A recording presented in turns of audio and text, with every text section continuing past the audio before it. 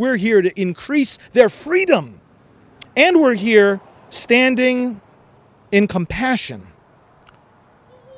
Not only recognizing that they are in despair when they come here, but recognizing, of course, the despair that accompanies so many who have left here, have left their babies behind in the dumpsters, and begin a lifetime of regret. On our way over, David and I were talking about the, the Silent No More awareness campaign and all throughout the country how at the 40 days vigils and elsewhere, these men and women who have lost their children to abortion, who have gone through the pain, and who have gone through a measure of healing, be, themselves become the sign to our society.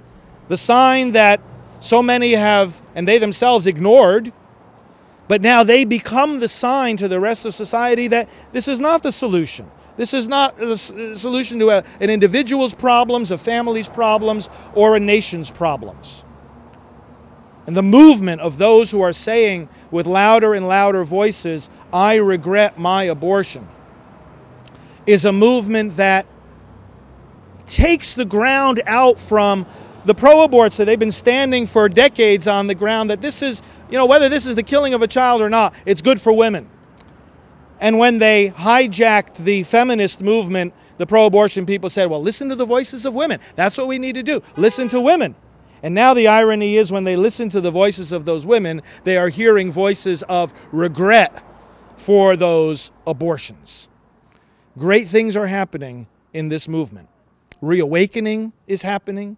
Consciences are being stirred. People are being mobilized. Those who have been healed are coming out in greater numbers than ever. Those who are survivors and are aware that they're survivors, our young people, are coming out for this movement. And it's not just because they're young that we have hope. It's not just because they're filled with energy that we can have confidence that this movement is, is moving towards victory, but it's also because of the reason why they're coming out.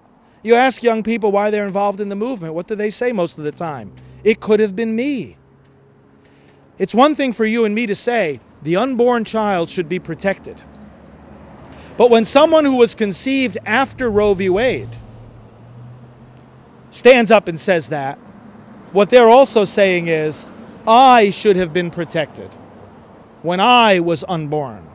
Because the law said that I was not a person, that I was not worthy of protection. You realize what a motivation that is? To fight against abortion. They're not only speaking up for their unborn brothers and sisters, they're speaking up for themselves.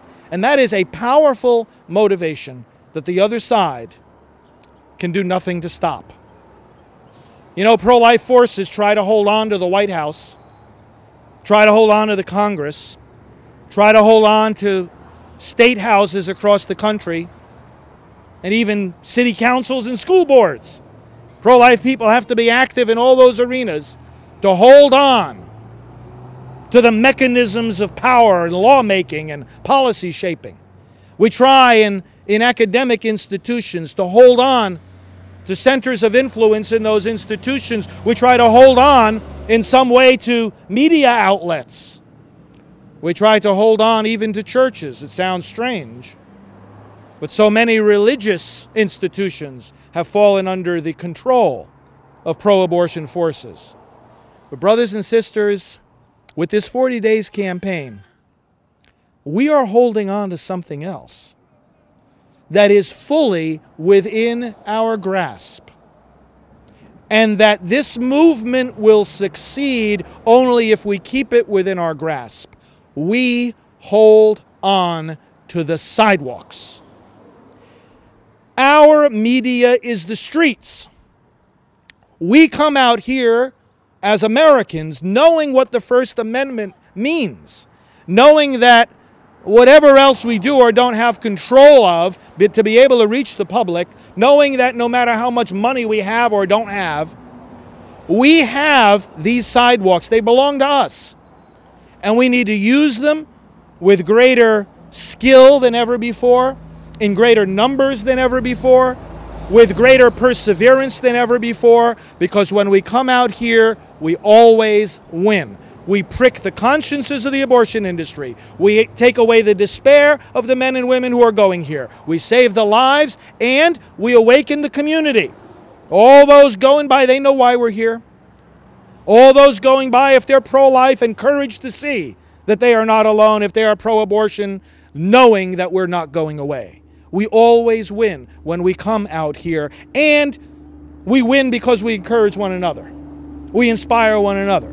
We build up the strength of one another, knowing that, in fact, this movement is on the path to victory. So, thank you for what you're doing, for being here today, for the ongoing prayer, the penance, the activism, the community outreach and uh, it is a uh, it is a constant inspiration uh, for me. I know David says the same uh, all the time in going around to the different sites and just seeing you.